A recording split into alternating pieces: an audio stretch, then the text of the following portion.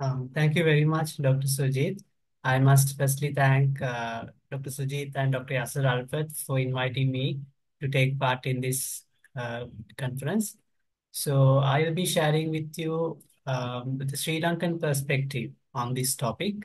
Uh, so specifically, we had a mass uprising in Sri Lanka uh, about two years back uh, with regard to um, people standing up against the, the existing government at the time. So I'll be speaking um, regarding that event. Firstly, to give you some background about Sri Lanka. Sri Lanka is known as the of Indian Ocean, located in close proximity to India.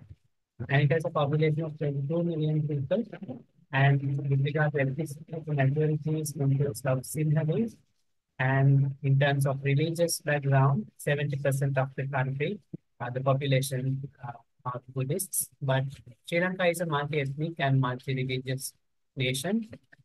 Um, in terms of economic status, Sri Lanka is currently classified as a lower middle income country uh, with a GDP per capita of 3,800 US dollars.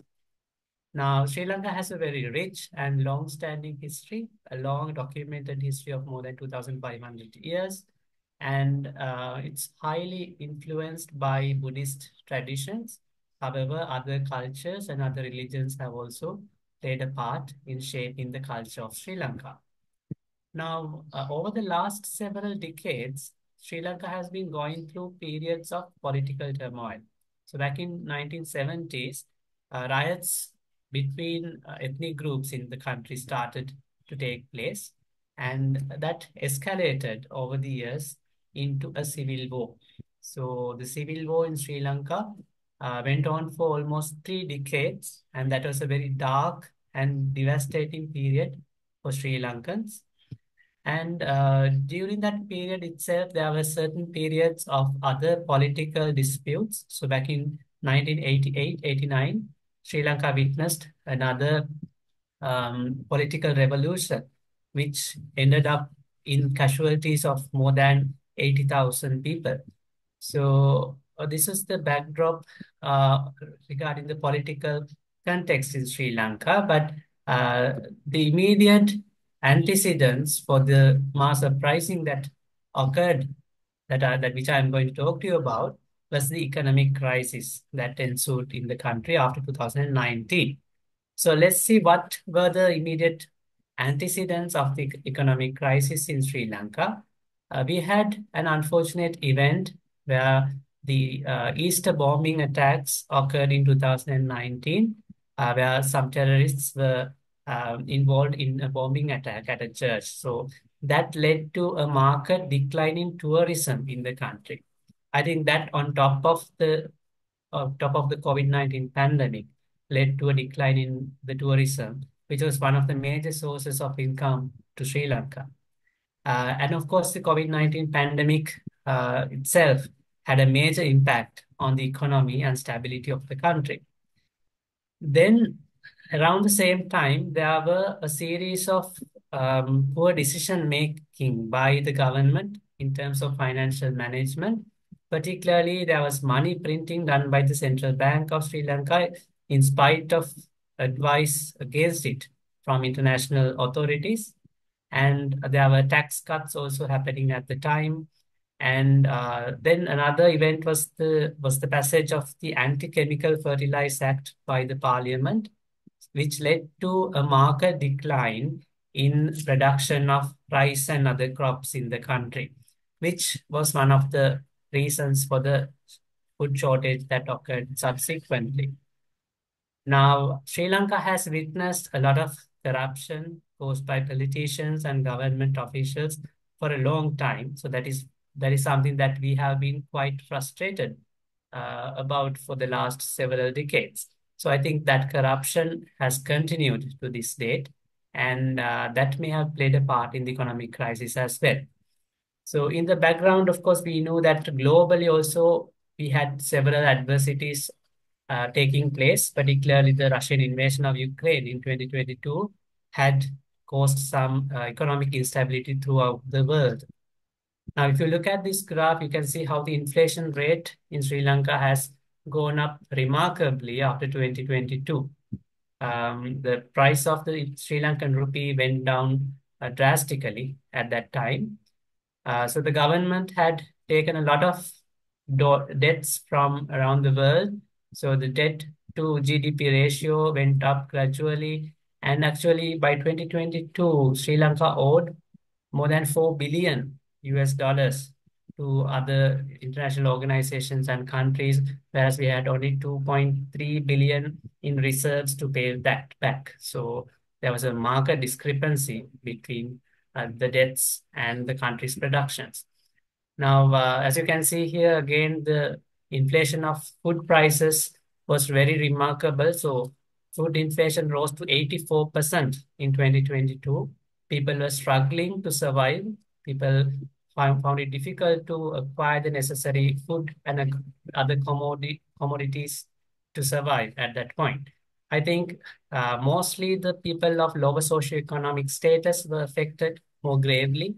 However, people in higher social standing were also affected because of the shortage of food in the country.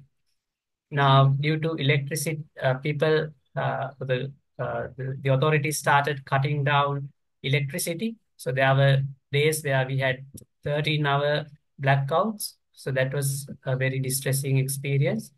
And then again, I think one of the most antagonizing experiences for Sri Lankans was the was the fuel queues. People had to wait in queues to obtain fuel for days at a stretch. So that was a very uh, distressing and antagonizing experience. I think that is one of the tipping points for people to take action against the government. And at around that time, people started leaving the country as well because of the economic difficulties. Um, healthcare workers, including psychiatrists and other mental health professionals, were leaving. We had a we saw a large number of psychiatrists leaving the country around that time. Okay, so that was the backdrop of the mass uprising. Now I'll describe how that uh, took place. So people from around the country started making protests against the government in smaller groups initially. Then uh, people started gathering, different groups coming together. They were not really politically motivated, but their intentions was to raise their voices against uh, the current government and the the mismanagement done by the government. So mostly these groups are led by young people, but I think the age didn't matter. People from different backgrounds, different cultures, different ethnicities, everybody was coming together because these problems were experienced by people from all backgrounds. Now, the initial protests were quite quiet and silent. Uh, for example, uh, one uh, one remarkable, one landmark uh, event was the Mirihana protest, which occurred in March 2022. It started off as a candle, candlelight vigil, but it it escalated into a violent attack on the president's house, um, probably by provocation from the government officials as well. So that marked, I think, the, the beginning of the protests uh, at a larger scale. And then a few weeks later, we had another unfortunate incident uh, where uh, bullets were fired at protesters in Rambukkana. So this is actually my hometown. So, so that was quite a shocking experience for me as well, personally, because the, the incident that you are seeing here occurred very close to my home. All right, so with that, people were gradually gathering to Colombo, that is the capital, that's the commercial capital of Sri Lanka. And people were coming from all over the country and raising their voices against the government, demanding that the current president or the existing president who was there at the time leave and resign. So this uh, this was uh, this gradually um, built up into what was known as Aragalaya, which in Sinhala means the struggle. So I think uh, gradually the numbers went up. People were coming, uh, people were storming the streets, and you can see some psychiatrists also taking a stand. And this is one of my uh, teachers who has uh, who has raised voice against the government at the time. And uh, so towards the end of the protest period, uh, the protesters swarmed the president's house and they were able to oust the president. They were able to force the president to leave and resign from his presidency. So that was a victory, I think, for most for the for the people who who took a stand against the president and the government.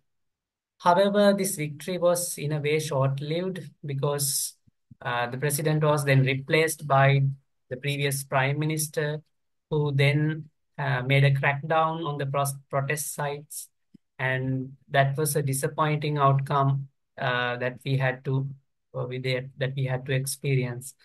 Um, however, I think this this period was very crucial in Sri Lankan history because people finally felt that they could take a stand against the government, against the corruption. Um, so everybody felt connected. People had a purpose, uh, a common purpose um, to engage in. I think that was a very positive experience as well. Now, uh, having said that, I'll explore some of the mental health impacts this had in our context. So, like my uh, uh, previous speakers spoke about the psychological effects in their respective countries.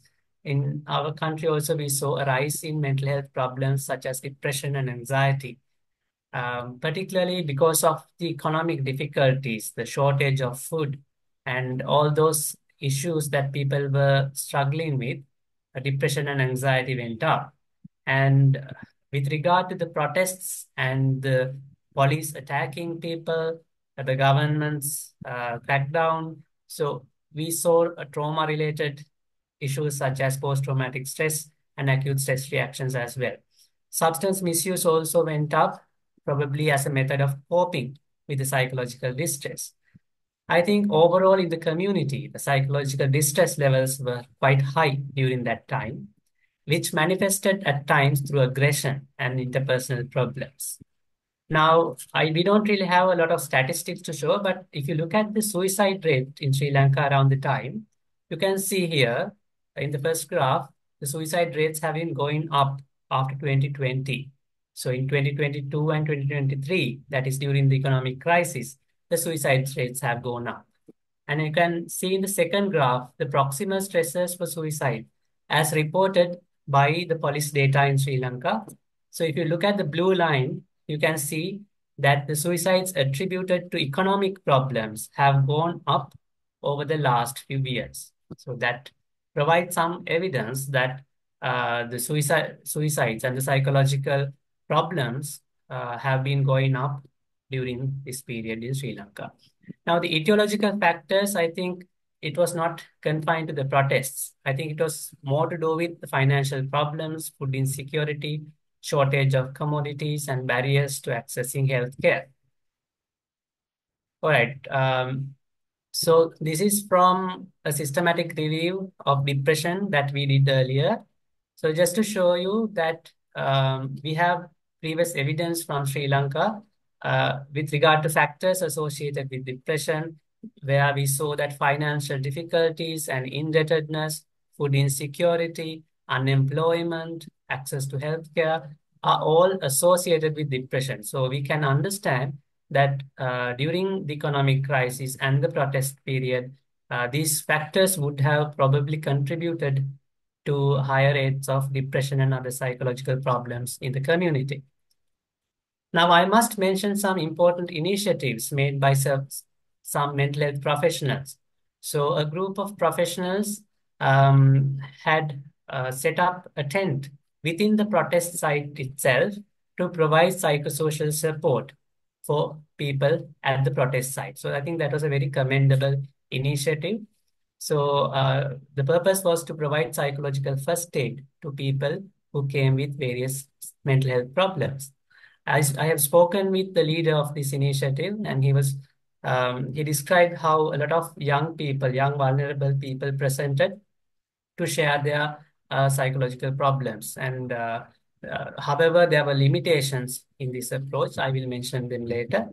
So uh, in preparation for my presentation, I have also surveyed about 10 mental health professionals about their insights and their experiences during this period. So I'll share with you some of the things that they have told, uh, they have um, disclosed to me.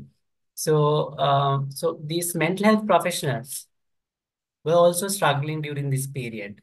So one person said, I was burnt out and depressed myself and found it hard to support or be there for others. I also felt extremely guilty about that. Uh, whereas another person said the uncertainty and frustration made it difficult to work with clients as I too struggled with the same difficulty. So you can see how the professionals themselves were struggling during that time. Then um, in terms of providing psychological support and treatment, there were problems in addressing the etiological factors. For example, we had patients who had food insecurity and had, having financial difficulties for which we couldn't do much. So uh, we could we prescribe antidepressants, but how how much effect is that going to have when the person is not having enough food to eat? Okay, so one person said the fact that many issues were rooted in the unavailability of basic needs made it very difficult to support people. Other issues that mental health professionals faced were difficulties in accessing the protest sites because of the police and military barriers, difficulties in referring clients to psychiatric services from the protest sites. Uh, in Sri Lanka, there has always been a lack of liaison between psychiatrists and other mental health professionals like psychologists. So that was one barrier. And of course, the lack of funding and resource allocation to address these mental health needs and the lack of a proper strategic plan uh, was also another issue. Now, having described the negative aspect of it, I would also like to bring up some possible positive effects of this mass uprising. So again, I'm sharing with you some thoughts shared by mental health professionals. So, someone said it provided a space for people to share their worries, stresses, and feel validated and be visible.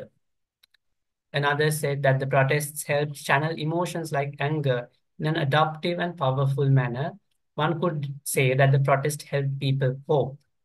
So I think people uh, use that use this space of protesting as a method to cope with with all the problems, the economic problems, and all the other things that people were sharing at that time. And I think uh, another person said it created the space for minority communities to take part as a collective and share their own experiences. Another said that personally, the protests and engaging in the space has made me very hopeful about the collective ability of the population. So I think that is a sentiment that I also can quite uh, relate to. If you look at the long-term effects, I think again there are there are negative effects. So the trauma that people went through would definitely have a lasting effect on the community. But again, I think there are positive there are positives uh, as well. So one thing is people felt hopeful for change because people were able to oust the government. I think people felt hopeful that they can do something about injustice and they can uh, achieve something. And I think it uh, it really materialized in the recent elections in Sri Lanka because uh, Sri Lanka has been mainly uh, governed by the ruling party and opposition for a long time. But this time during the election, we were able to elect somebody else. Um, so that was a positive outcome, I think, of this uprising of people. Finally, people felt a sense of connectedness, and I think people became more res resilient as well. So that maybe um, that can amount to post-traumatic growth as well. Yes, so that brings to the end of my presentation about the